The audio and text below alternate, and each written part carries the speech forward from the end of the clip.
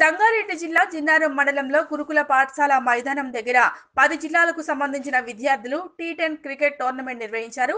ఈ కార్యక్రమానికి ముఖ్య అతిథులుగా Patancheru MLA Gudem Mahipal Reddy ZP chairman Manjushri vice chairman Prabhakar Jinnaram మండల ఎంపీపీ రవీంద్ర గౌడ్ ఎంపీటీసీ వెంకటేశం గౌడ్ స్థానిక సర్పంచ్ లావణ్య తదితరులు హాజరయ్యారు. అనంతరం వారు మాట్లాడుతూ టోర్నమెంట్ పెట్టడం ఎంతో మంచి ఆలోచన తగిన విషయమని ఇందులో భాగంగా మమ్మల్ని ఆహ్వానించి మా చేతుల మీదుగా బహుమతులు ప్రదానం చేయటం సంతోషంగా ఉంది అన్నారు.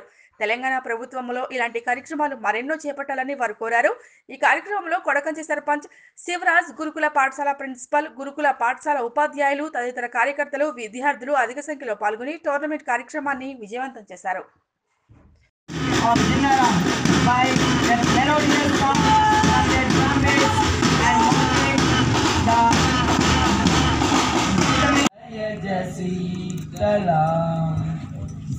सश्यामलां मातरं। वन्दे मातरं। शुभ्रजोष्णा पुलकितयामिनी।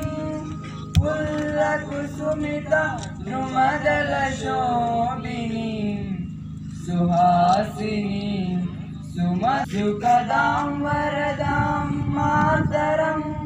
वन्दे मातरं ఈ గురుకుల మైదానంలో క్రికెట్ టోర్నమెంట్లో పాల్గొన్న ప్రతి ఒక్కరికి పీఈటీలకు అందరికీ నేను ధన్యవాదాలు చెప్తా ఉన్నా. క్లోజింగ్ సెరమనీకి మమ్మల్ని ఆహ్వానించి మా చేతుల మీదుగా ఈ టోర్నమెంట్ క్లోజింగ్ సెరమనీ ప్రజెంటేషన్ సెరమనీకి మా చేతుల మీద జరుగుతున్నందుకు ఇంకా సంతోషంగా ఉంది. ఎందుకంటే ఈరోజు తెలంగాణ రాష్ట్రం ఏర్పడ్డ తర్వాత తెలంగాణ రాష్ట్ర ముఖ్యమంత్రి గల్వకుట్ల చంద్రశేఖరరావు గారు కేజీ టు పీజీ సబ్జెక్ట్ ఏదో ఉన్నదో దాన్ని పూర్తి స్థాయిలో తెలంగాణ రాష్ట్రంలో ముఖ్యంగా బీద బడుగు బలహీన వర్గాలకు ఎస్సీ ఎస్టీ స్టూడెంట్స్కి పెద్దపీట వేసి రాష్ట్ర వ్యాప్తంగా నూట పద్దెనిమిది కాలేజీలు మన హాస్టల్స్ ఓపెన్ చేసిన ఘనత తెలంగాణ ప్రభుత్వంది.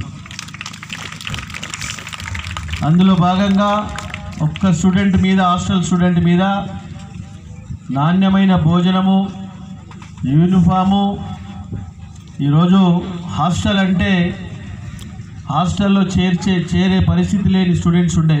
ఈరోజు హాస్టల్స్ అంటే చక్కగా సంతోషంగా పిల్లలు వస్తూ ఉన్నారు వాళ్ళ పేరెంట్స్ పంపుతూ ఉన్నారు. కారణం తెలంగాణ వస్తే ఏమొస్తుందంటే తెలంగాణ వస్తే నాణ్యమైన సన్నబియ్యం భోజనం వస్తూ ఉన్నది. వారికి యూనిఫామ్ వస్తూ ఉన్నాయి బుక్స్ నోట్ బుక్స్ వస్తూ ఉన్నాయి. హాస్టల్స్లో ఫెసిలిటీస్.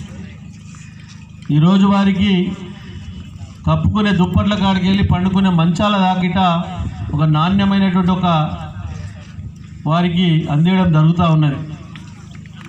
దాంతోపాటు వాస్తవేనా తమ్ముళ్ళు? కరెక్టేనా? ప్రభుత్వము క్రీడా విషయంలో పెద్దపీట వేసి క్రీడారంగంలో గిట మారుమూల ప్రాంతాలలో ఉన్న క్రీడాకారులను పైకి తీసి హాస్టళ్ళలో ఉన్న క్రీడాకారులకు మక్కువ ఉన్న గేమ్లో క్రికెట్ ఒకటే కాదు. ఈరోజు ప్రో కబడ్డీ. చూస్తావురా ప్రో కబడ్డీ? దేశీ మురిగి ఎట్లనో కబడ్డీ అట్లునే ఈరోజు నేషనల్ లెవెల్లో ఫోకస్ అవుతూ ఉన్నది. ఇలాంటివి ఫిజికల్గా ఏర్పాటు చేస్తే వాళ్ళు ఆత్మధైర్యం అనేది పెరుగుతున్నది.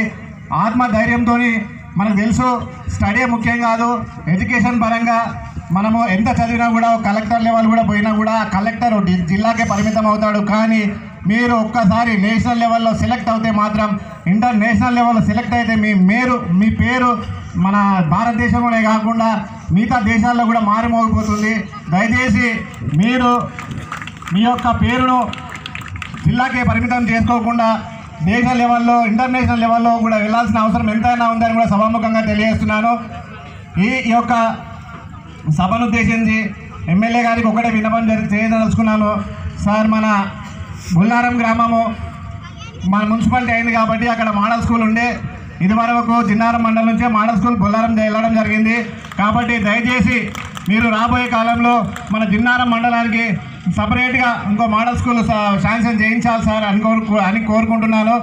ఎందుకంటే బొల్లారము సంబంధించి మున్సిపల్ అయింది. ఇప్పుడు మనకు బొల్లారం సంబంధం లేదు కాబట్టి దయచేసి జిన్నారంలో ఉన్నటువంటి ప్రతి ఒక్క గ్రామాల్లోకి మోడల్ స్కూల్ అంతైనా అవసరం ఉంది.